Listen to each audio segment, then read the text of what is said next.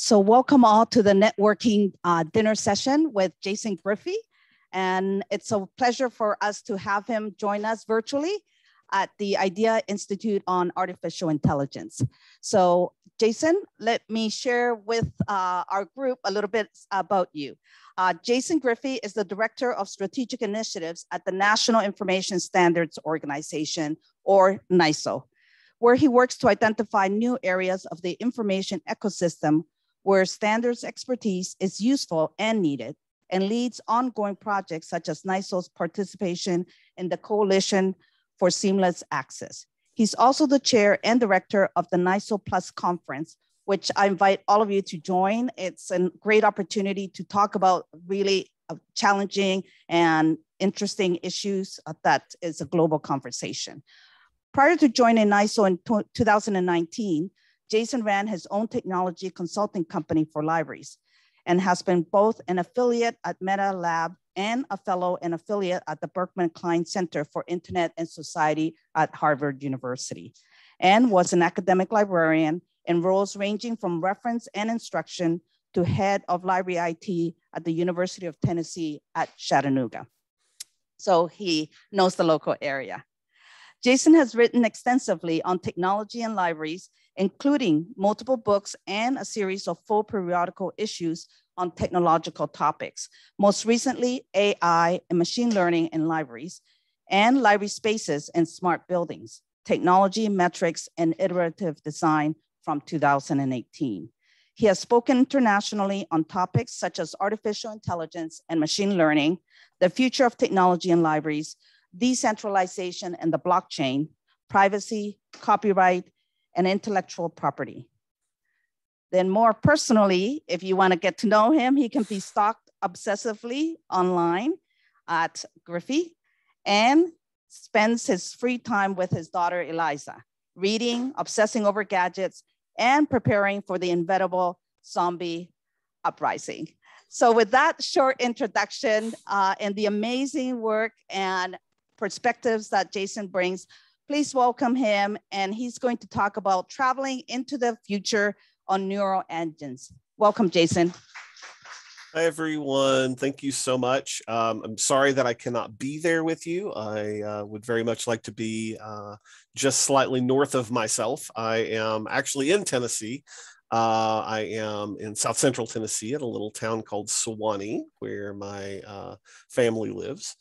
Um, today, my goal is to, uh, well, number one, make my camera stop jumping around like it is. And then uh, let me see if I can manage that real quick. Yeah, all right, we're fine. Um, my goal today is to talk to you about a number of things uh, AI and ML related, right? Um, first off, you know, that was a wonderful introduction, but just to give you a sort of overview of uh, why I'm here, I've done a lot of things in libraries almost my entire career has been uh, revolving around emerging technologies and sort of near future potential for technologies.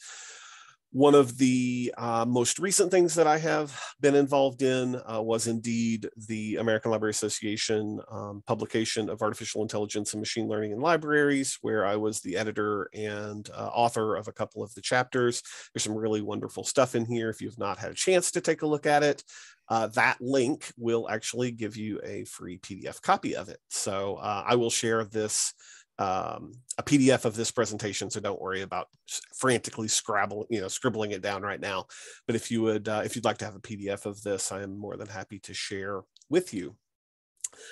Um, what what I'm going to do today, uh, over the next 45 minutes or so, is uh, try to talk to you about sort of where we are right now in the world of artificial intelligence and machine learning in hopes of opening your mind a little to seeing where we will be right? Um, the wonderful thing about emerging technology is that it, it, it paints a pathway for us uh, as to where the likely outcomes of this technology may, may lead us. And so, uh, if we understand what's going on in the world right now, then we have a much better idea of how to prepare for the world that will be. And so, uh, today I'm going to do that in a couple of ways. One, we're going to just talk a little bit very generically about AI and machine learning systems um, up front. I'm going to talk about some of my favorite and most interesting examples of sort of what machine learning can do in the world of media and uh, creation. And then we're going to look at some library examples that are particularly interesting, some things that relate directly to information or information analysis and um, things that, uh, that may drive sort of some of the, the future of libraries and the interface that we present to the world.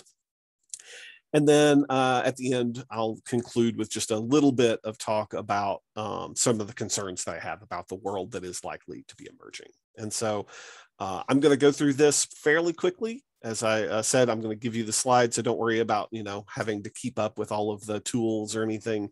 You'll have those available to you um, shortly after the talk, and then afterwards, I hope to be able to have a really uh, nice conversation with you about sort of what your you know hopes dreams concerns thoughts uh, wishes um, and uh, and and the, the future you know what you what you'd like the future to look like of this um, of this world.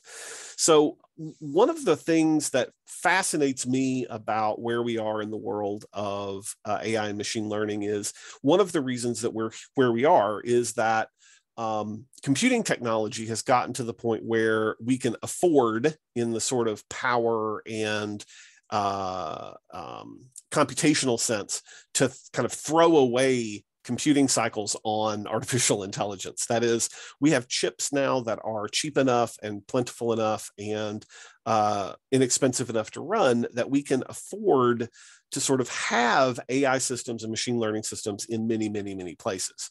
Now, when I say machine learning or artificial intelligence or sort of any of the you know myriad neural engines, neural nets, any of the sort of you know jargon around this part of uh, technology.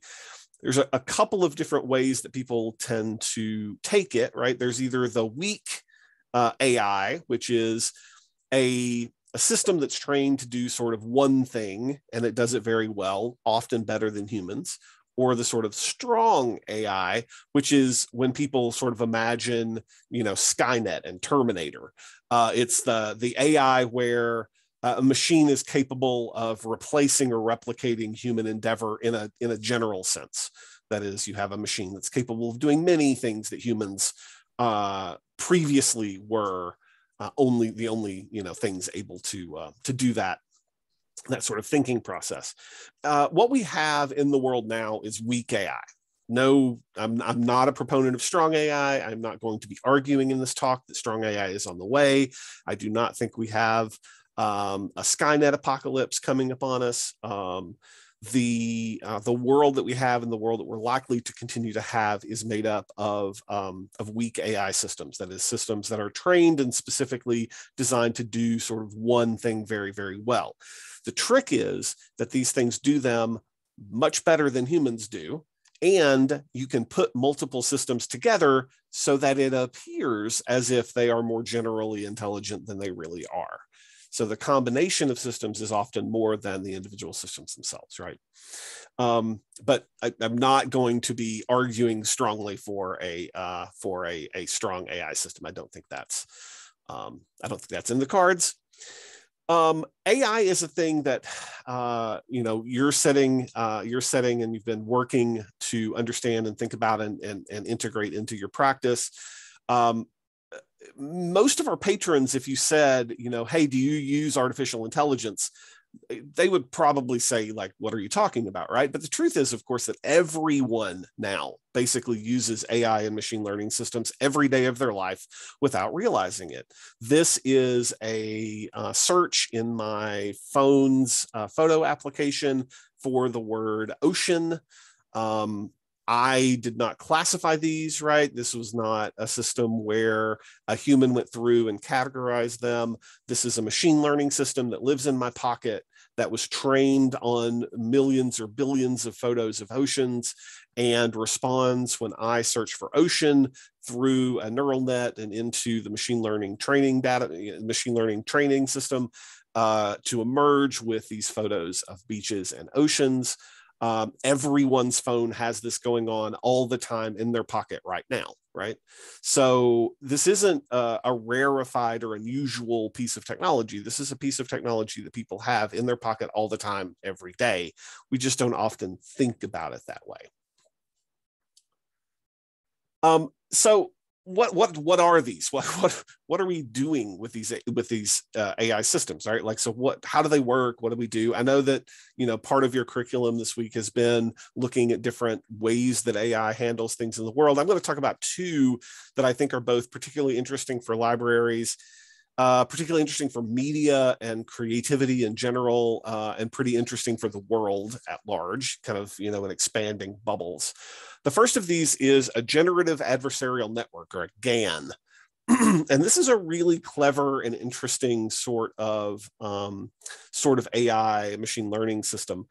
Um, for those who aren't familiar, really quickly, um, you you basically have two different machine learning systems, one called a generator and one called a discriminator.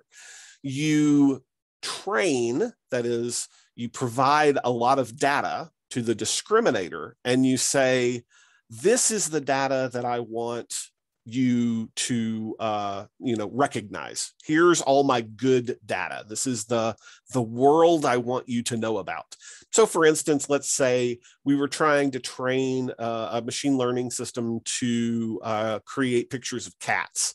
We would first have to train the discriminator what is a cat? Right? What does a cat look like? And so we just feed it billions of pictures of cats and we let it sort of decide that these things are all representative of what it is that we call a cat. And then we say to the generator, well, just make something up, just create some data, right? And the first time it does that, it's just random noise. It's just static. It's nonsense, right? It's white noise. There's no pattern there because it doesn't know what it's doing. It's a completely it's it's it's just generating white noise. The secret to a machine learning system called a GAN is we then take that and say hey this thing that the generator created discriminator is is this a cat? And the discriminator says no no no no no no it's not a cat. This is a cat. Your thing not a cat. Totally not a cat. But if you do this it'll look more like a cat. And then you run it again, right? And the you ask the discriminator, does this look like a cat? And then the generator makes something else based on that data. And then you run it again, right? And as you run it, every time you run this cycle, you say, the discriminator says, is the thing I'm given a cat? And then it feeds it to the generator and says, no, no, no, do better. And you end up with this cycle where eventually you end up with things that look like cats completely artificial, completely made up, completely generated, not a real thing, not something that exists in nature, but nonetheless, a thing that looks like and appears to us to be, right? A cat. Turns out you can do this for basically anything in the world. Uh, for example, one of these humans, either the guy, uh, either the, the, the male presenting or the female presenting human, um, is real, and one of them is an AI generated uh, human. So uh, I can see you a little bit. So um, I'd, I'd like you to take like three seconds. How many people think the male presenting individual is uh, real? Okay. How many think the female presenting individual is real? Okay. You're all wrong. They're both fake. Neither of these are real people. Uh, these are entirely fake, false people, fake images, not real, not human, etc. These are generated by a GAN. When I started talking about and researching and sort of got into artificial intelligence machine learning many many many years ago that process of creating something that looked real right that to our eyes looked real took huge amounts of computing power it took specialized machines and it took uh, a, a, huge amount of effort and energy. And now, today, it's a website. You can literally go to thispersondoesnotexist.com and hit a button and have it create a fake human for you, um, which is kind of an amazing thing. the other type of um, uh, machine learning system that I wanted to point out to you again, if, if you're not familiar with this, is called a CLIP, a contrastive language image pre-training system This is uh, a system that is trained similarly to a GAN, except that it's trained using image text pairs. So you have an image and then some text about the image, and those both of those are put into the model that the, the uh, machine learning system is trained on, right? What you get out the other side from the generative side of the world is you can actually tell one of these systems in sort of natural language. You can just type a sentence or type a couple of words, adjective, noun, whatever, and uh, have it make you an image or have you have it classify images based on that uh, on that feedback. So you can do a number of different things with these when you combine uh, text. So for just a couple of quick examples, if I were, uh, this is, uh, these are examples from a combined GAN and CLIP system where you have a generator as well as this sort of image text pairing going on. And uh, you just describe what you want and it creates an image from the words you give it, right? Just completely artificial generative image from this machine learning system. So if we give, this is from a, excuse me, these are all from a um, machine learning system called Big Sleep which is a really popular uh, image generator. Uh, it's a Python, I think it's Python based. Pretty sure it's Python based actually. Um, and uh, if we feed it Cyberpunk Riot, you get something that looks like this. If you feed it donut shop in the style of Escher, right? Literally, you're just typing those words and then hitting go and letting it make an image for you. You get something like this. This is a generated image. How about Charizard in the style of Picasso? There's one. My personal favorite, Here Comes Midnight with the dead moon in its jaws. There's the image from that random string of text. And these can not only create um, uh, create still images, but they can create video as well. So I will give uh, bonus points, which I have I, I, cannot possibly give you to anyone who recognizes this opening, splash opening to a movie. Anybody know what movie this is? This is the the splash screen for the opening of Blade Runner. So the uh, Big Sleep was told create a video that looks like Blade Runner never this is you're just instructing machine learning system right? Like literally in those words make an opening make a make a make a video that looks like blade runner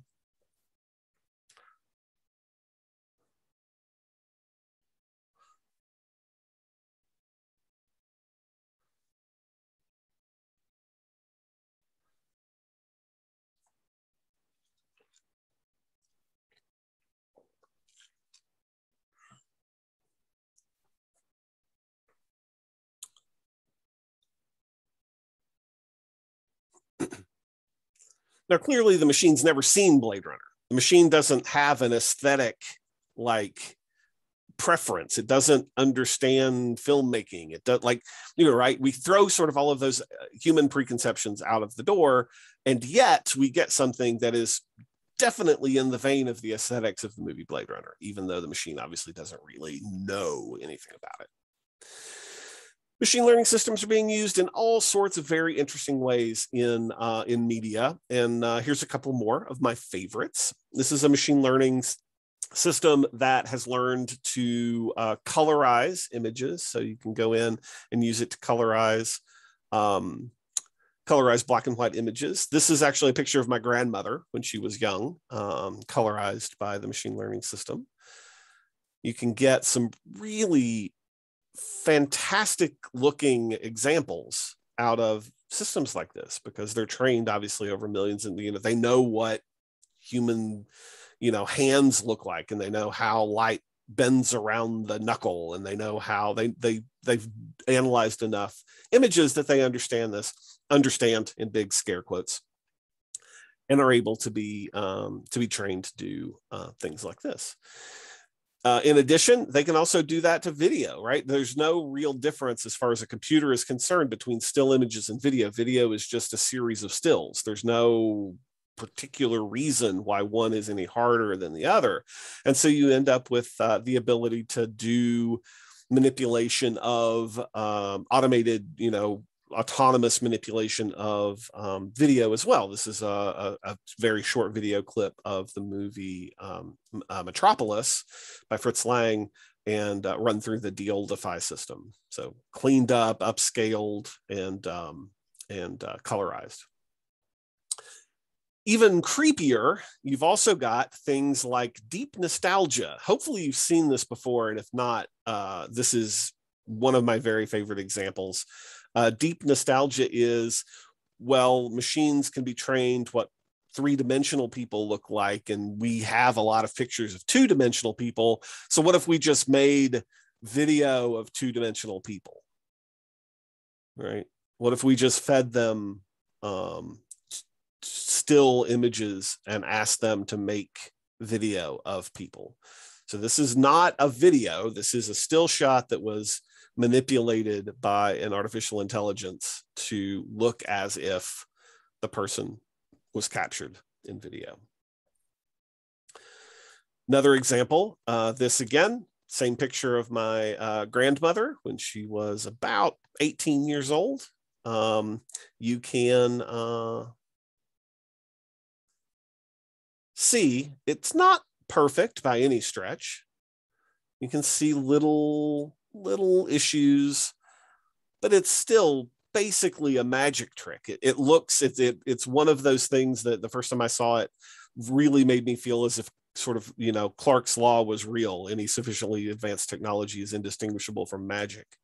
It, it seems like a Harry Potter photo, right? It seems like it's it's magical.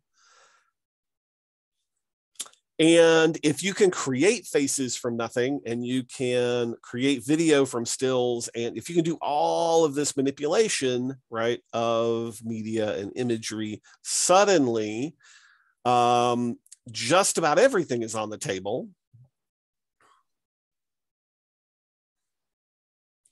This is uh, obviously not Tom Cruise, even though it looks like Tom Cruise this is a uh, a deep fake, effectively, video of uh, an actor portraying Tom Cruise with machine learning um, clean up to make it look as if obviously it was the real actor Tom Cruise. This is becoming much easier to do and much more common. Uh, you've probably seen other examples of this, but it will, um, I think, the future of manipulated imagery is going to be one, especially in the age of misinformation and disinformation. Uh, that is going to be extremely problematic for those of us who prefer um, reality based reality. So, uh, this is going to be um, something for libraries and librarians to wrestle with, I think, for uh, for the next many decades. AI can also do just sort of interesting things with media, right? This uh, some things that are not quite as uh, potentially damaging as the the imagery manipulation.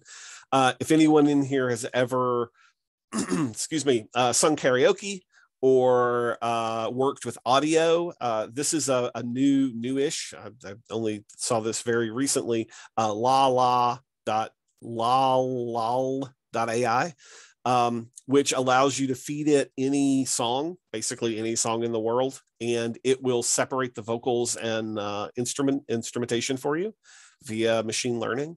It uh, has been trained to recognize you know how to tell those two things apart and it basically just strips the two apart. This is extremely difficult to do for humans. Um, i don't know if anyone has any audio production experience but trust me when i tell you this is not something you would want to try and do manually.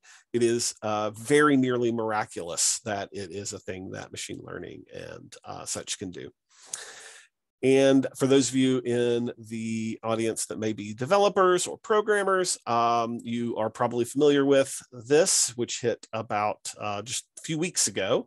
Uh, GitHub released uh, a thing called Copilot, which uses artificial intelligence and machine learning to pair program with you.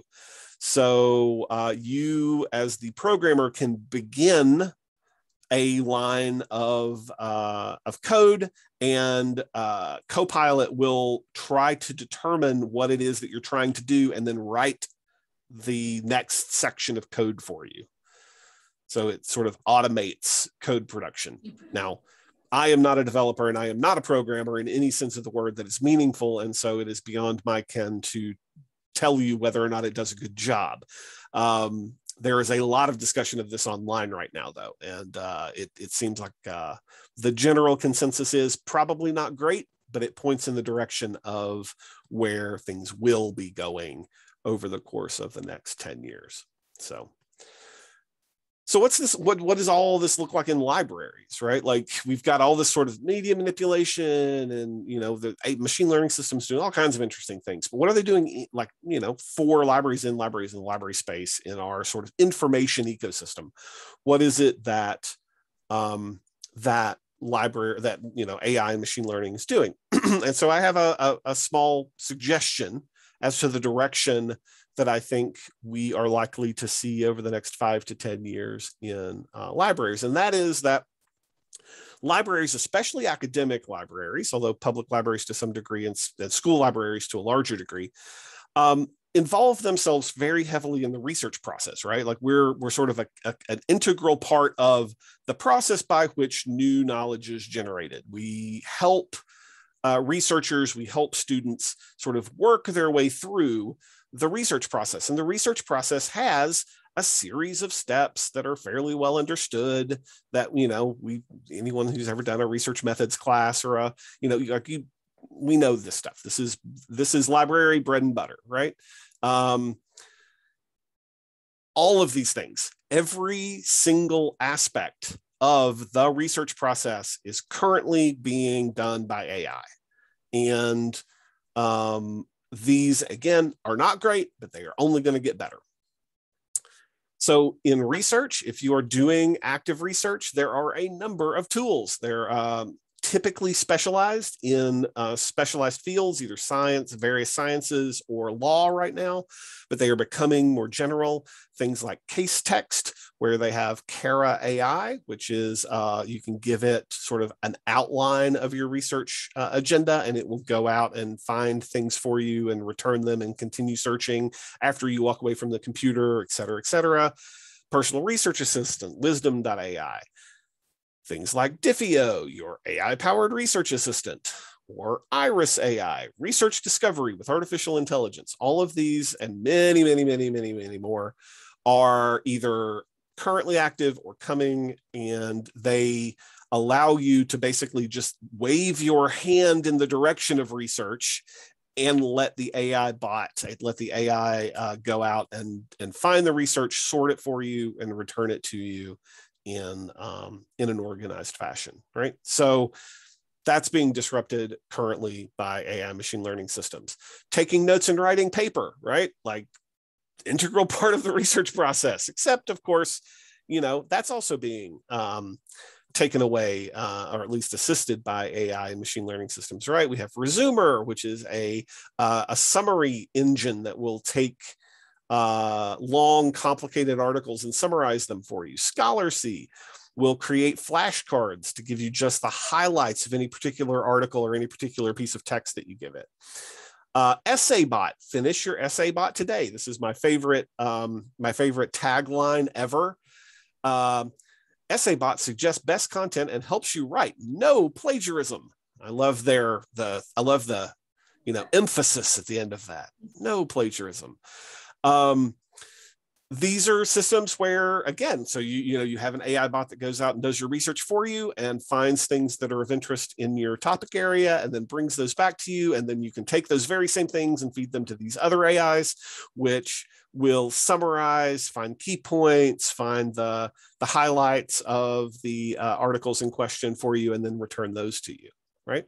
Okay well uh, we all are familiar with proofreading and editing software. Most of this is uh, being done these days by AI. Grammarly, which I think everyone has probably heard of, right? This is an AI powered writing assistant. It uses AI machine learning um, to make you sound better than you would natively.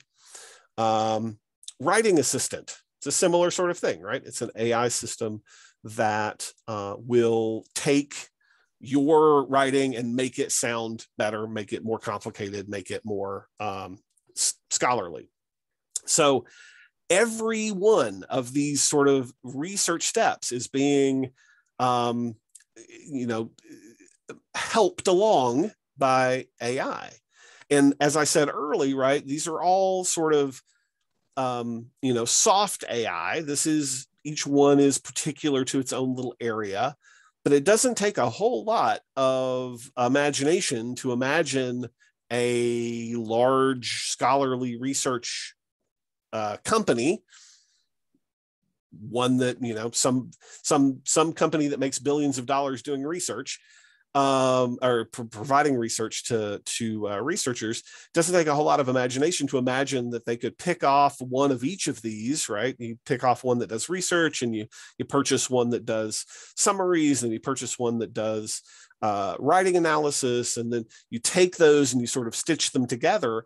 And I think there is a fairly strong potential in the next five to 10 years that we will see machine learning systems, AI bots that are um, marketed directly to researchers, especially undergraduate and early graduate researchers, with the promise that as they continue their education, the bot will stay with them the whole time, right? And learn as they learn.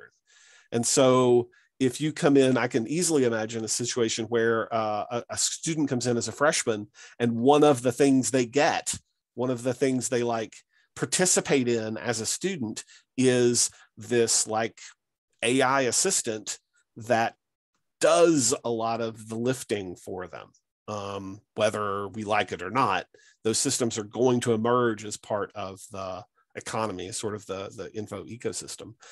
Um, and uh, you know it, it won't be good at the early stages never is but as i like to point out to uh, people when i do technology talks right now is the worst technology will ever be like technology from this point forward only ever gets better. like we it's we're not uh, short of a zombie apocalypse or nuclear Armageddon. We're not going to like go backwards in our technology stack, and so the technology that's available now will only ever get cheaper, faster, easier, more available. The technology that comes down the pike will continue that process, and uh, and so you know moving forward we should plan on there being more of these things more more more technology because that's the way the world that's the way that's the way it works. That's the way things go also in the library world we've got a number of other things that are going on really interesting projects that are going on in sort of the library-ish search engine sort of worlds in um, with ai and machine learning. We have things like Annif uh, which is a fantastic uh, a fantastic project that uses um, it's an AI machine learning system that uses natural language to do uh, subject vocabulary assignment. So it's effectively a, a sort of cataloging tool, right? Um, you can feed it things, feed it um, uh, uh, new documents, and it will suggest um, suggest new subject uh, terms for you. Currently works in a whole bunch of languages, including um, uh, sorting you into Hogwarts houses. It will sort documents into Hogwarts houses, which I think is fantastic. Um, so if you feed it a PDF, feed it a, uh, a set of text, it will tell you if it's a, if the text is Slytherin, which is great.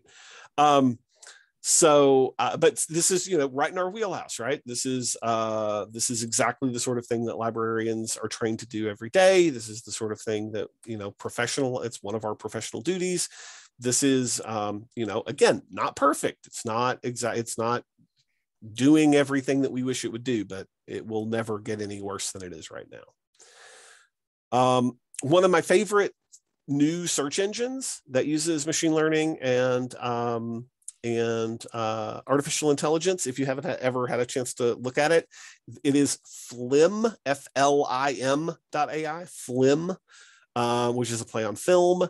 Uh, Flim.ai uses machine learning and uh, artificial intelligence to classify imagery inside of films, inside of popular, inside of movies, just basically every, enormous corpus of movies somehow, and uh, you can do things like search for a red car. This is was a search I tried um, not that long ago. You search for red car, and you get a picture from Caddyshack, and a picture from A Nightmare on Elm Street, and a picture from Big Fish, and a picture of Hot Summer Nights, and a picture from all of these various movies with the frame that involves the uh, the phrase that you give it. And you can give this really complicated phrasing. You could say like red car on a dirt road in the desert and it would find you you know things of that nature um, if uh, it probably shouldn't escape your notice that this is uh, way better than any library search engine that you've ever tried. Um, you can imagine like a, a, a, a patron setting down and searching for you know sad books about werewolves and trying to and you know having it go through the corpus of of literature and return to them sad books about werewolves. This is the equivalent except for film. Um and uh you know the latter is probably uh is hopefully being developed somewhere not being developed in libraries most likely which is sad but um that is the sort of thing that you can do with machine learning.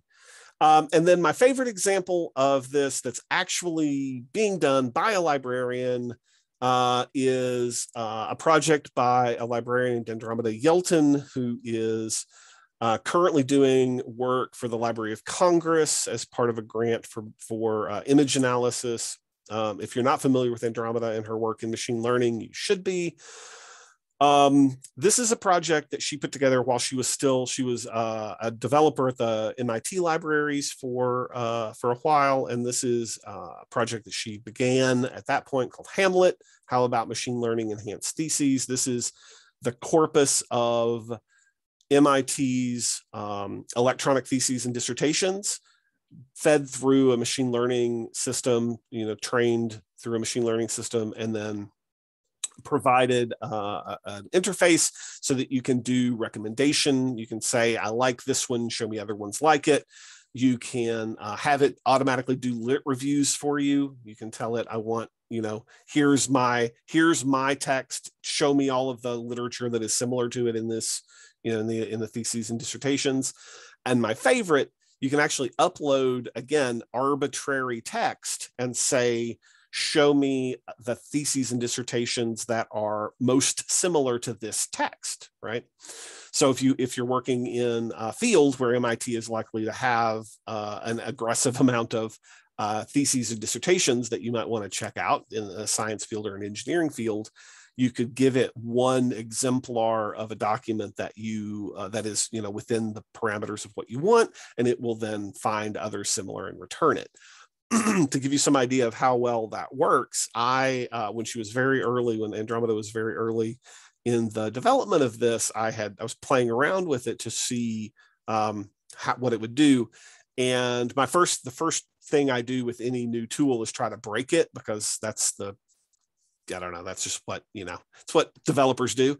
Um, and so I took the text of the novel Peter Pan by J.M. Barrie and I gave it to Hamlet and I said, show me MIT theses and dissertations that are the most like Peter Pan.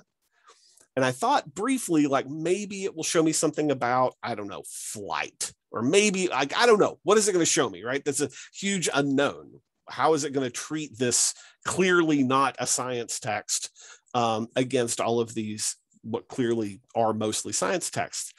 And I hit go and I waited a second and it returned. And the results that it gave me were uh, all of the creative writing theses from MIT, which I, at that point, I just sort of threw my hands up and said, This is magic because, you know, the fact that it could tell obviously Peter Pan is a work of creative fiction and then make that connection to the creative writing texts that were in the that and that's all machine learning no subject headings no human interaction nothing. So it's the sort of thing that can be done um, in the world of uh, libraries very specifically. This is up and running. You can go and play with it yourself at the url there.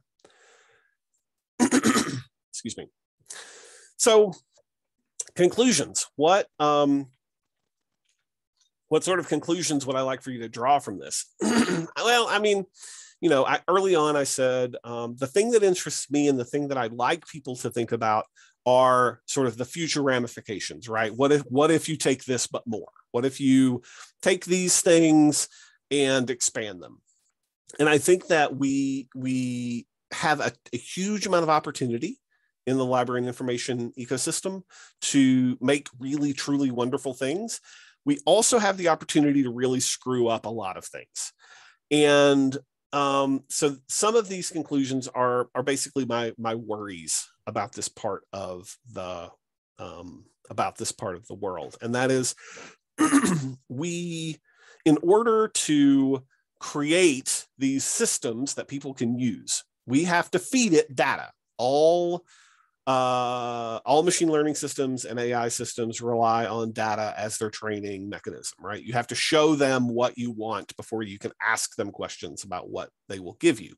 And so, if we just give it data about the world we have been living in and then ask it questions about the future, there is the the potential that we're just sort of codifying our biases, right? That we're just uh, giving it we're, we're leading the witness. We're we're giving it the answers that we don't really want. And so i worry that um, a lot of these tools especially tools that have the potential to be sold to us by commercial vendors might be um, might have sort of black box data training that would not pass muster if it was actually looked at carefully. And I really worry about just repeating the mistakes of history over and over and over. that's a thing that scares me quite a bit. And that's related to the fact that um, as librarians, we should have, and I think we do have, a fairly strong ethical um, sense of what, you know, how how we should be giving information to people what sort of information we should be giving to people. And i worry that these systems these new emerging ai and machine learning systems will lead to vendors and other outside agents right? Non-library non-librarian agents trying to provide what they think we want and making ethical decisions external to us once those are already sort of in place in the systems, they're very hard to change. And we will, um, I fear, sort of cede our power in this space to um, external actors. Um, so I, I have a, a, fair amount of concern that that is a thing that could happen. Um, I, I, don't want it to. I hope it doesn't, but it, it's a there's a potential there for that. I worry about uh, the patrons and the what we've already seen over the last decade of use of uh, algorithmically based agents to determine our uh, information input. Uh, I don't think the last 10 years has been healthy for our society on that front, right? Um, that the uh, filter and bubble problem of algorithmically driven news is uh, real and is bad. I think objectively bad for the world and society.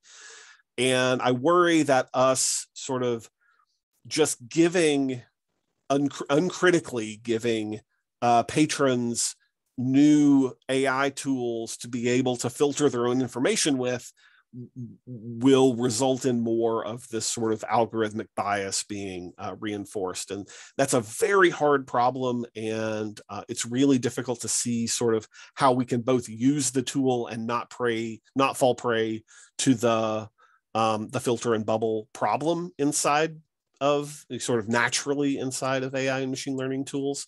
So that's a thing that worries me, how that falls out and, and, and how we see that emerging. Um, and then I, I also worry about the the sort of world of um, creativity and creation. Uh, as uh, Clara had said early on, a lot of my early research in my career was around copyright and around information, um, uh, information, pro- uh, intellectual property rights, and um, the new world of AI generated stuff or even AI sort of manipulated stuff is going to be a nightmare when it comes to things like authorship and credit for things and copyright. And there's whole swaths of um, common understanding of of um, even something as simple as like authors right who authored this it's complicated enough in the human world to sometimes determine who the author of a thing is it, once we start mixing machines into this, it is going to be very complicated over the next 20 years to be able to answer that question. And so um, I think this is going to be a challenge for, for libraries and librarians specifically because we care and we upkeep some of this stuff, right? So uh, really quickly, just last two slides. Um, Roy Amara was an American researcher and uh, scientist. He was the president of the Institute for the Future. And he said, uh, Amara's law, we, we tend to overestimate the effect of a technology in the short run and underestimate the effect in the long run. I think this is true. I think this is also tr- going to be true of AI and machine learning. Um, we are paying it attention now, but I'm not sure that we're doing, um, I think we may be underestimating it um, for the long term. So and then last, closing with an XKCD. Um, if you haven't seen this, you probably have at this point if you're interested in AI and machine learning, but um, the uh, you know it's all about the data we are good at data but we are often blind to our own biases and so um, i want to um, strongly recommend that we don't just keep stirring our pile of data until things look good that we actually sort of dig in and understand uh, how to make the world of machine learning and AI better by making the data um, that ultimately underlies it better.